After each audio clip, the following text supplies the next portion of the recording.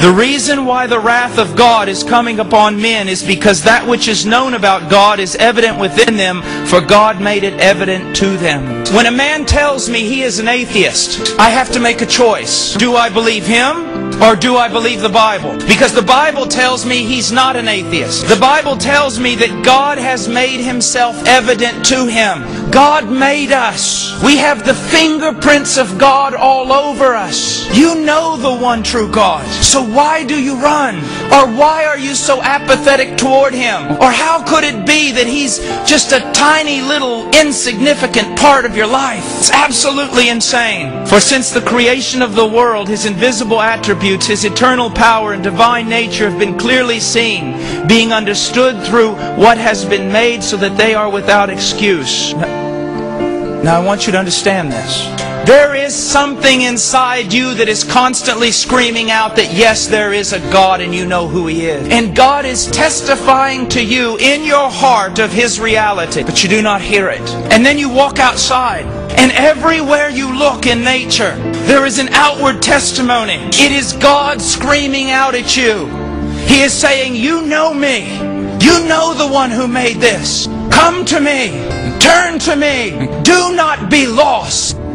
Some of you say, well, Brother Paul, I look out and I see all kinds of chaos also. I see pain and suffering and futility. There's an answer for that. Genesis chapter 3. That God made man good. And God put man in a perfect world. But man disobeyed God. And when he fell, he took the entire world with him. If you look at Genesis chapter 3, you see God's judgment upon fallen man. For the man it says that he will work and labor in futility. Gentlemen, have you ever experienced that? Students, do you ever experience that? You're studying to get your degree, but every once in a while you get up in the morning and you just feel totally and completely hollow. Everything, everything seems futile and useless. And you even wonder why you're alive.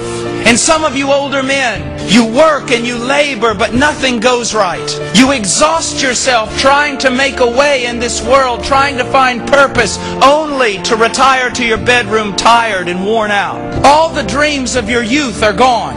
And all you do is work and try to survive. Even those of you who are very successful, you realize sometimes that it's just worth nothing. And you feel empty and lost. What's happening? I'm going to tell you. It's not only the judgment of God, it's the mercy of God. Every time you go to work and you experience nothing but frustration, it is God screaming out to you. You are fallen, fallen, fallen. You are broken. You are sinful. You are separated from me. You need a Savior. You need my Son. It says also that because of the sin of man, the woman would bear great pain in childbirth. And according to my wife, that is a terrible judgment. But also it is an act of God's mercy. With every pain in childbirth, God is screaming out to you, you are fallen, you are fallen, you are fallen. You need a Savior. God does not cry out to you about your sin just to make you feel horrible. God does not tell you about your lostness just so you will stay lost. God tells you about your lostness and your sin so that you will come to a Savior. He has left His fingerprints all over you so that you would know that He made you. In a sense, He put His laws in your heart so that you would know His will. And He gives you a conscience so that every time you break His law, it screams out to you, you are sinful, you are sinful, you are sinful. He has surrounded you with the beauty of creation so that every time you look at it, you see that there is a God. A God who is good. A God who is beautiful.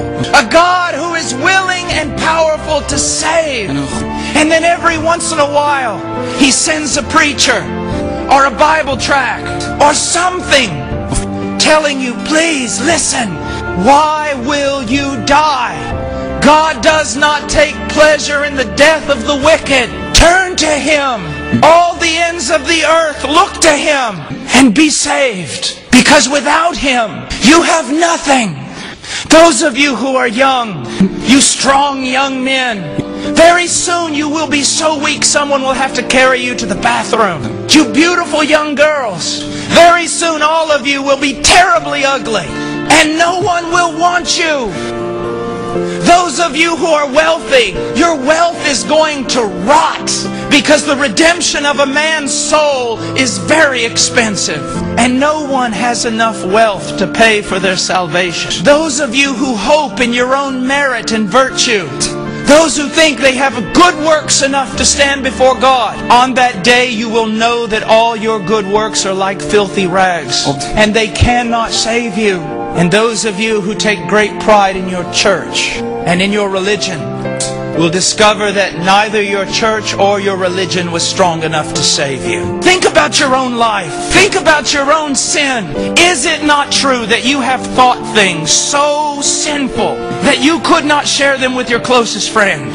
Is it not true that you have done things so shameful that if they were made known here tonight, you would run out of this village and never show your face here again? You know it's true. You've done it. You've thought it. You've said it. Even if your best friend knew some of the things you have said about him or her, they would no longer be your best friend. You are sinful. You are fallen, fallen, fallen. You are broken. You are sinful. You are separated from me. You need a Savior. God is screaming out to you, you are fallen, you are fallen, you are fallen.